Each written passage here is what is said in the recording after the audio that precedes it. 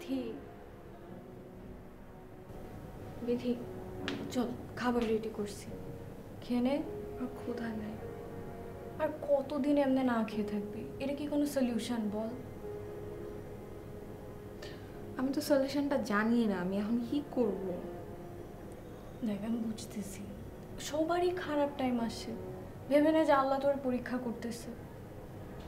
এটা ভেবে কোনো মতে মানে এখন না খেয়ে তুই তো দুর্বল হয়ে যাবি। তখন সামনে আর কোনো কাজ করতে পারবি না। এটাই কি শেষ? প্লিজ প্লিজ কান্দিস না। দেখ তুই আমার সিচুয়েশনে থাকলে বুঝতি তুই এখন কিচ্ছু বুঝতে পারবি না। হ্যাঁ ওইটা হতে পারে যে সত্যি আমি তোর সিচুয়েশনে নাই জন্য তোর একদম mental state at the moment কি? আমি এটা বুঝতে পারতেছি না। কিন্তু তুই তো আমার ফ্রেন্ড আমি তো দেখতেছি যে তুই কাঁদতেছিস, তুই খাচ্ছস না। এটা তো আমি আমি তোর জন্য যে তোর এই অবস্থা দেখে আমি কবির ভাইয়ের অফিসেও গেছিলাম। আমার জন্য না, তোর জন্য।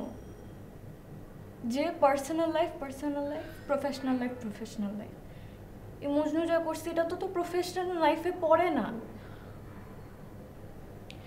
দেখ, তুই আমার বেস্ট ফ্রেন্ড তুই আমাকে নিয়ে চিন্তা করতেছিস and I am very grateful but তুই এটা করিস না, দেখ, তুই ইনসাল্ট হবি সবখানে যে আমার জন্য এটা আসলে আমি আমি না, এই ট্রমাটাই আর নিতে পারতেছি না। তুই তো দেখতেছিস আমার কি অবস্থা।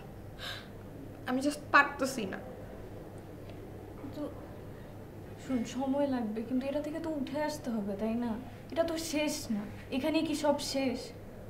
তুই এখনও বিটস তুই এখনও বিটস তুই বিথি থেকে বিটস হইছস না? তো একটা মানুষ একটা জিনিস বলবে, তুই আবার বিথি হয়ে যাবি নাকি? তুই বিটস তোর ওইটা আইডেন্টিটি টাইম লাগবে বা ঠিক হয়ে যাবে এমনি ভেঙে পড়িস না প্লিজ খাবারটা রেডি করছি, খা। প্লিজ আমার কথা চিন্তা করে খা। তুই খা। আমি খাবার নিয়ে আসতেছি, তুই খাবি।